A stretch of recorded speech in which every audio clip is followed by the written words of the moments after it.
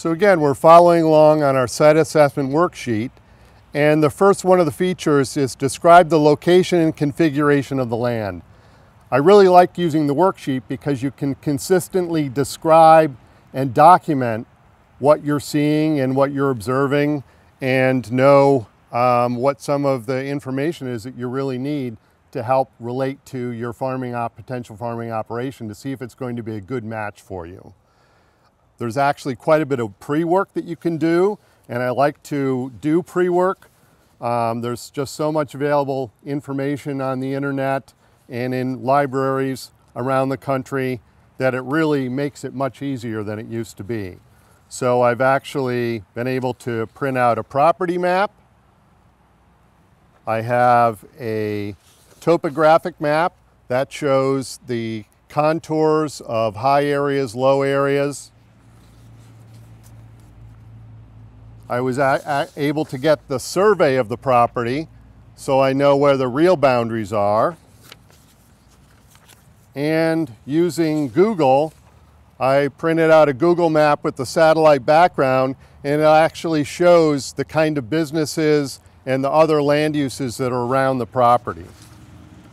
And then finally, my background is as a soil scientist. I actually worked for 35 years for USDA Natural Resources Conservation Service as a soil scientist. So I think this is really important is to understand as much as you can about the soils on a piece of property. So I created a soil survey report from the Web Soil Survey that gives me quite a bit of soils information about the parcel and can really help determine its suitability for a certain kind of agriculture. So under the site assessment worksheet, physical characteristics, land orientation, boundary, size, shape of fields and parcels. So why that's important is that this particular parcel is oriented kind of northwest to southeast.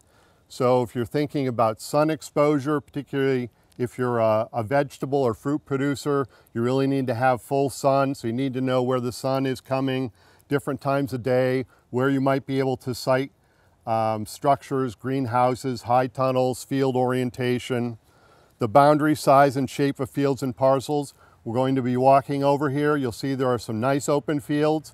And then as you look here, you actually have a side yard area between a property boundary and the house that could be used. So there's a, but, but again, as we talk about later, um, there may be setback issues, but we know that we have some room there that could be used. And then where are there farm access roads? That all is important to document as far as physical characteristics. The climate, we're here in Connecticut, so we have kind of a moderate humid climate and we're on the edge of what's called the Connecticut Valley, which has its own microclimate.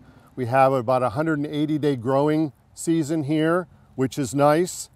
And um, as far as access to the property, we have a fairly busy road right in front of us. So there's access right down through the center of the parcel here. And then as we walk around the rest of the parcel, we'll see some other areas where there's access to the fields. Neighbors, you can see on this side, we have a um, storage kind of an industrial park on this side of the property. You have residential across the street. And then again, because I've done this pre-work, I know that up the street in that direction, there's actually a school, an elementary school. So if it was somebody that was interested in doing ag and classroom, farm to school, um, produce or meat products, in that direction, there's a farm stand that mostly sells fruit. So by doing that pre-work, seeing what the neighborhood is like around here, gives you an idea of what there might be for potential markets, as well as um, potential competition. So I think that that's, that's really important to pay attention to what's in the area. Rural, suburban, or urban, we're in a suburban area. We're very close to highway access. Um, nearby agricultural support services. This parcel actually abuts a extension service center.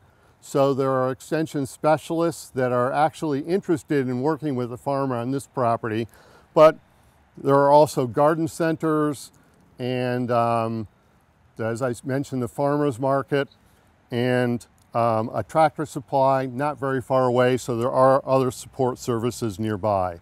So again, that's the first part of the location and configuration of the land.